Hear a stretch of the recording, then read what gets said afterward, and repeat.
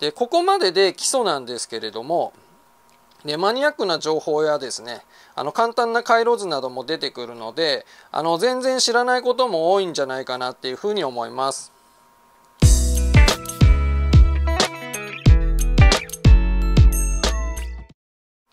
はいどうもギタリストの北島健吾です、え今回はリットーミュージックさんから出ているギターアンプの真実エレキギターの音色の90%以上はアンプで決まるという本について紹介したいと思います。著者は秋松恒夫さんです。でこの本はですね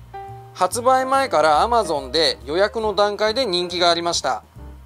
で結構期待されていた本だと思います。僕も予約購入しました。えー、個人的な感想としてはですねあのデジタルアンプやケンパーのようなプロファイリングが最近流行ってますけれども、そんな現代であっても基本はやはりアンプなんだなと思いました。でアンプを知らない若い人ほど買って損はないんじゃないかなっていうふうに思っています。でこの本の構成を紹介しながら僕個人がいいなって思ったところを紹介していきたいと思います。でまず一番最初にですねあのヴィンテージアンプについて触れています。あの写真と文章ですね紹介しています。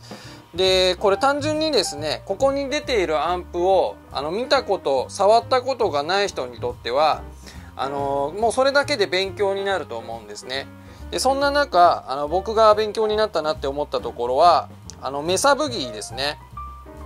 えー、メサブギーがあります。ここですね。はい、でメサブギーの設立者がですねランドール・スミスという回路設計士だった。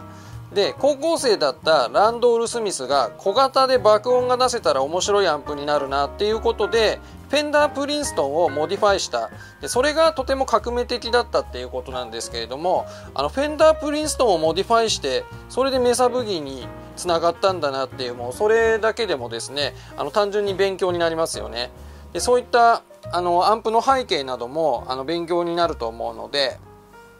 あの知らない人はですねあの読んでおくのがいいんじゃないかなというふうに思います。で次にですねあのギターアンプベーシックスってこう基礎編っていうところなんですけれどもあのここであのパート1からパート4までですね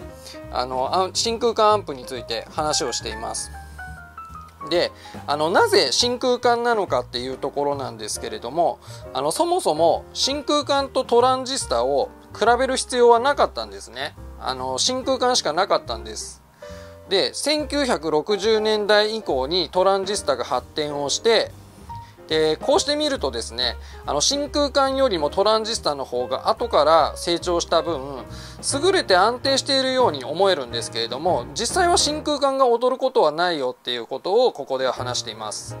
でギタリストがですね真空管アンプを好む理由についても触れています。でここで筆者が大切なことを言っています。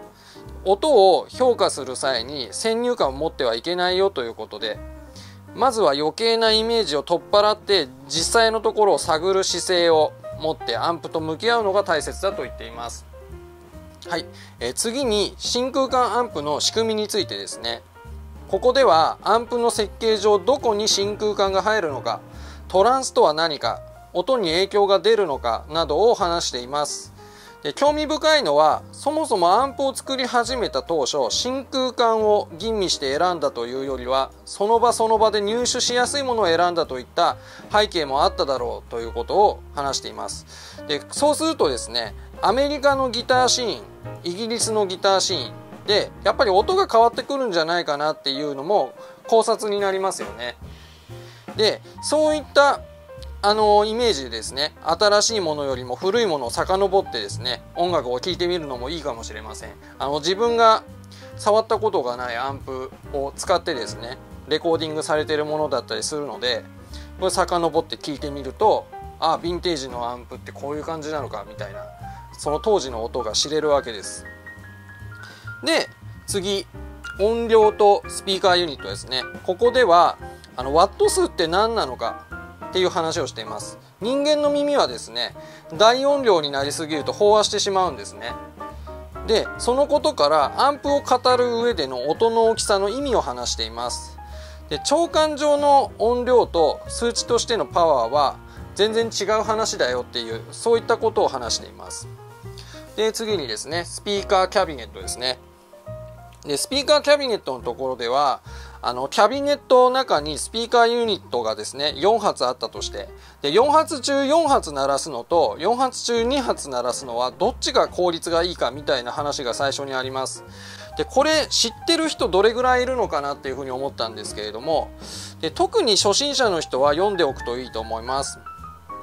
であのこの部分をですね読み進めていくと筆者の考え方はですねあのやはり一貫してあのエレキギターはアンプと一体になって一つの楽器だよっていうことを話しています。で現場にもアンプを持ち込まないと話にならないんだけれども、えー、どこからどこまで持ち込めるのかがプレイヤーのマインドによるものなのかなといったところでした、まあ、キャビネット大きいですからねなかなか難しいんですけれども自分のアンプキャビネットをですねあの持ち運んで現場に行けば自分の音だよっていうそういった話です。であとはここで位相の話も触れています。でここまでで基礎なんですけれどもでマニアックな情報やですねあの簡単な回路図なども出てくるのであの全然知らないことも多いんじゃないかなっていうふうに思います。でその後が応用編あとは実践編っていうふうにいくわけですけれどもここは買ってみてのお楽しみだと思います。で特にですねあのミッドレンジの重要性のところだったりトラブルシューティングのところっていうのは役に立つことだと思うので読んでおくのがいいと思います。はい。でその後に続きますけれどもあのここが僕の個人的におすすめなポイントです。でレジェンドギタリストのコラムなんですけれどもあの今の若い人にとって目指すような音ではないかもしれないけれどもあの今リスペクトするギターヒーローたちの地盤になってる音楽ですね。あのそれを支えたギタリストのアンプについて話しているわけです。であの頃のアンプの音を使った音楽を聴いてみたいっていうようなですねあそういった音楽の聴き方もありだと思います。あのジミー・ページとかですねあの出てますよね。でリッチー・ブラックモアとかあのなかなか面白いと思うのであのこういった本をきっかけにですねあのアンプを探ってみるっていうのはありなんじゃないかなっていうふうに思います。であとはこの後特別対談があの2つありますね。ここもあの本を買った人はあの読んでみるといいと思います。で以上あのギターアンプの真実についての紹介でした。でまあ出て間もない本なんですけれどもあの興味がある方はですね是非 Amazon だったりとか書店とかでですねあのチェックしてみてはどうでしょうか。